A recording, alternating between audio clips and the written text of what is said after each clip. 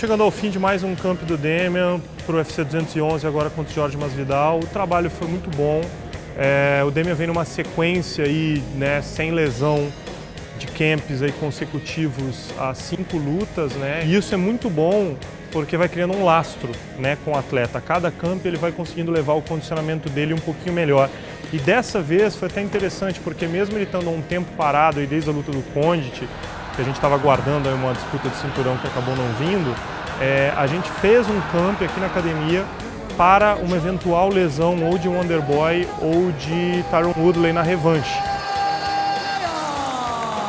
O que eu acho é que o Masvidal, falando em termos genéricos, é um atleta completo, é um atleta duro, muito experiente. O Masvidal é um cara que tem mais lutas que o Demian, ele né, tem uma rodagem muito grande.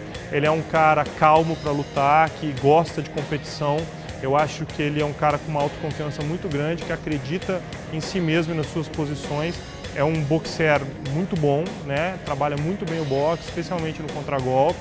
E ele é um cara que tem uma boa defesa de queda e tem um jiu-jitsu também ok, bom. Você sabe que só existem dois cenários, você vai sair muito feliz ou muito triste. Não existe outro cenário possível, especialmente quando você já está nesse ponto. Agora, o que a gente tenta fazer é, a partir do momento que fechou essa luta, não existe mais cinturão.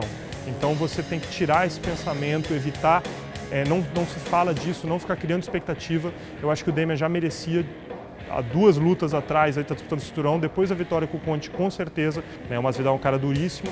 Se você continuar lutando eternamente, uma hora você vai acabar perdendo.